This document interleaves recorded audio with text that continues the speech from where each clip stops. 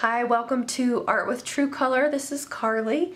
Today I'm going to show you guys an art journal page that I am doing with glass bead gel. So if you've never used bead gel before, it's similar to a very light modeling paste with a bunch of little bitty beads in it. So you get this really cool texture from using it. Um, and the texture allows you to do a lot of different things with distressing. So we can go ahead and get started. Um, I just started out by scooping a good amount of the glass bead gel onto my palette. And then I'm going to add some paint. So I'm going to use two different colors. This is a phthalo blue um, green shade, and it's a golden heavy body paint. So I'm just going to add some of this. And because I don't want my uh, my base to be super dark, I am going to also add in some golden heavy body teal. So we'll add in a little bit of this as well.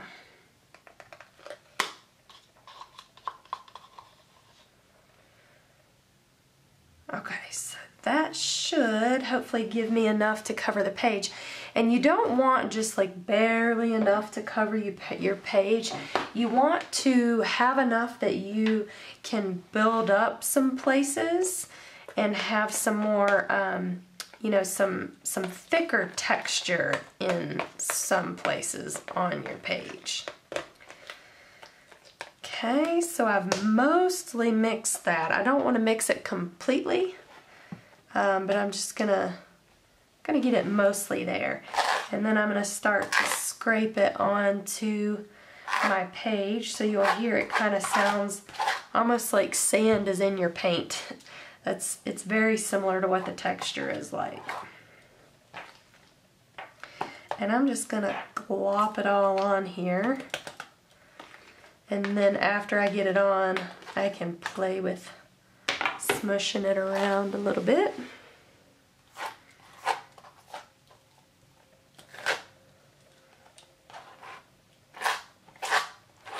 So usually what I like to do is start with it concentrated in the middle and then start working it out towards the edges.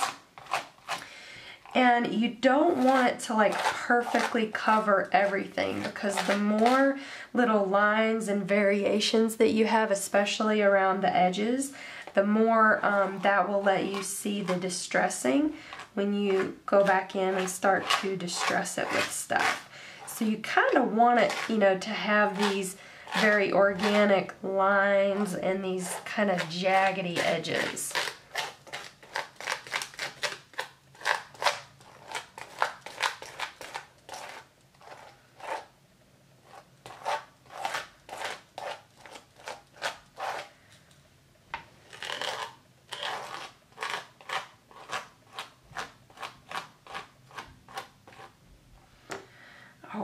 Okay, so that looks pretty good to me. I'm gonna let this dry and then we will come back and I will show you how you can distress the page to get a little more detail in your texture. Okay, so I am back. I have let this dry completely. I just let it dry overnight.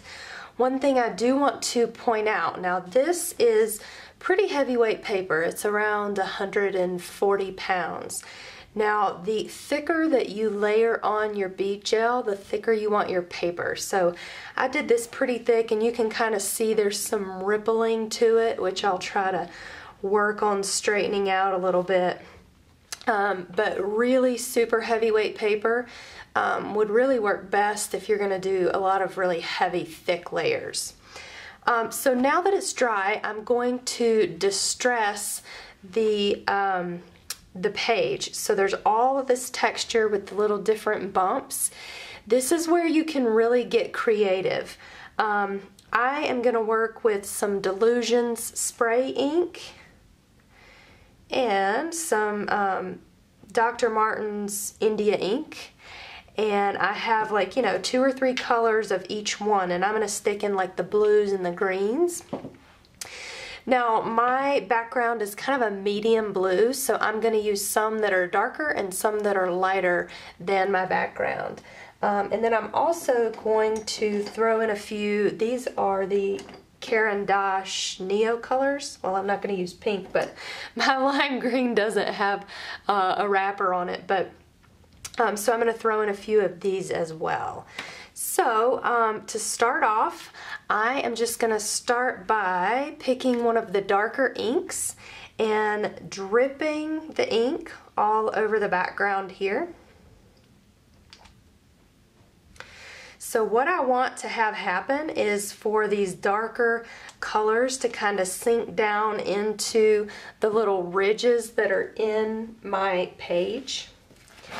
And I'm going to take a paper towel and just kind of wad it up and start blotting this around.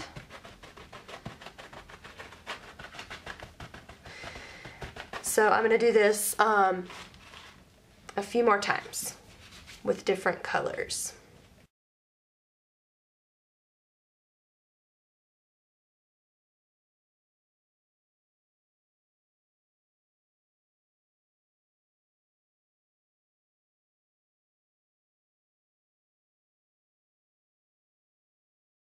Okay, so now I have most of my background covered with um, India ink. I'm going to go in with the Dylusions ink spray and kind of do the same thing. So just squirt it randomly all over the page and then come back in with a paper towel and blot up the excess.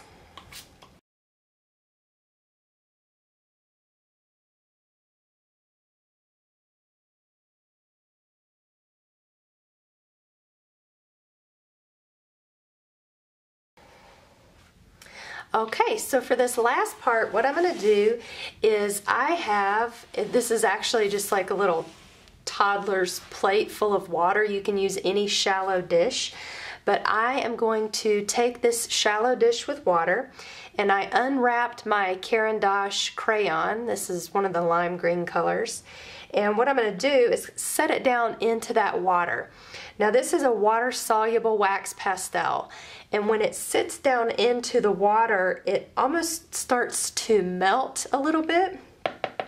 So after it sat there for a little bit um, I can now rub it across the top of here and the bumps that are raised up will start to pick up this color. And now it might be um, a little bit hard to see in the video, but when I post the pictures of it, you'll really be able to see how this adds an extra little detail to it. So I'm just rubbing it pretty hard um, across the top of here so that it picks up this color.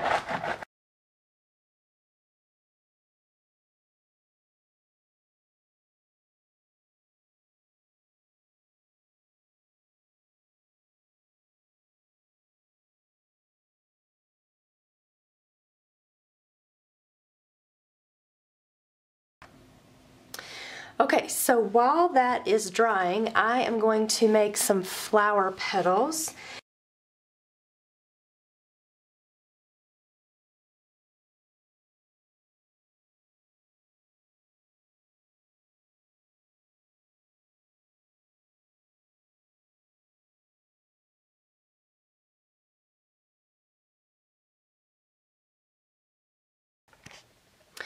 Okay, so I have a handful of these petals that I'm going to glue down onto my page.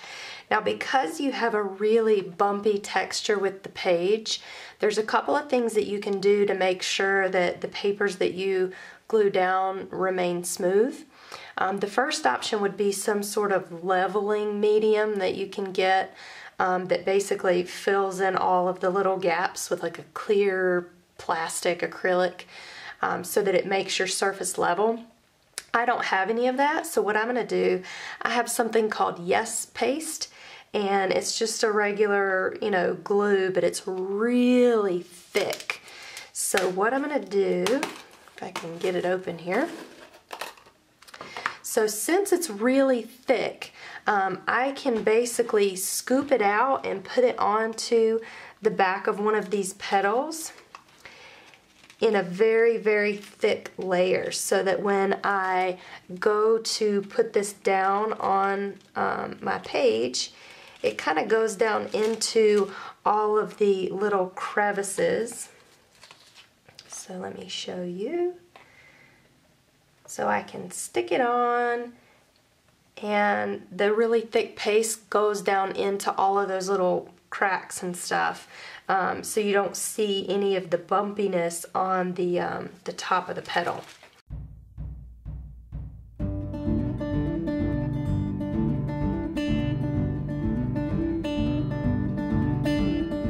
When we were younger, we thought everyone was on our side. Then we grew a little and romanticized the time I saw flowers in your hair. It takes a boy to live, it takes a man to pretend he was there. So then we grew a little and knew a lot. Okay, so for the lettering, I'm just going to write the words on a regular index card. I do use these a lot in my journal um, just because it's it's cheap. it holds a pretty good amount of um, paint or whatever and you know just easy to use. So I'm going to go ahead and work on my lettering now. And this is just a regular Sharpie paint pen in black.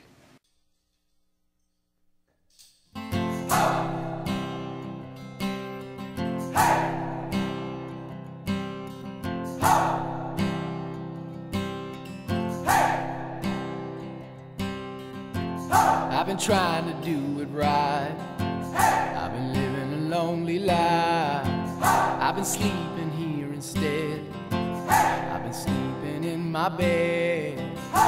Sleeping in my bed.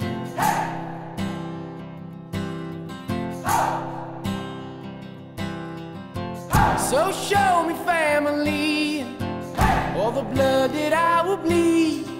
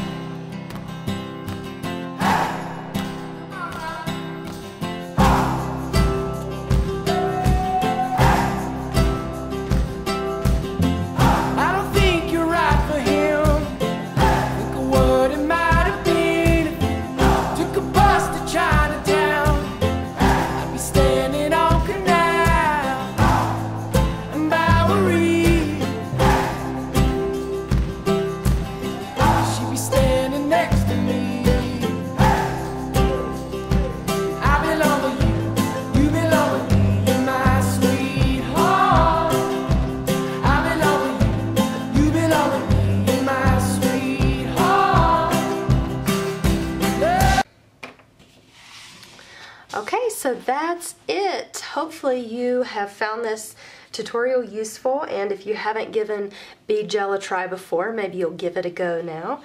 Um, if you like what you saw here today, please subscribe to my channel. I will be adding more videos just like this in the future. Thank you.